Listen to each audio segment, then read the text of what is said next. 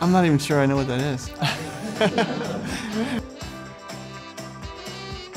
gonna have to go with the classics. Go with uh, a, a Wile. Coyote. I would say I probably wore a lot of uh, um, plaid shirts with the lapels out over my V-neck sweater. Probably gonna come back someday, so I saved them all. I would like to do the uh, the trapeze, the flying Schmittler.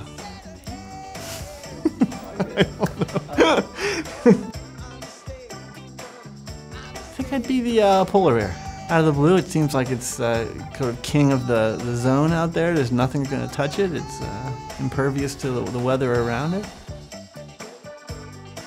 I'd have to have a knife, fire starter, and probably uh, insect netting.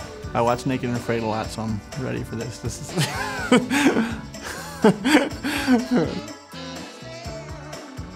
oh, over. Absolutely. That's a point of contention.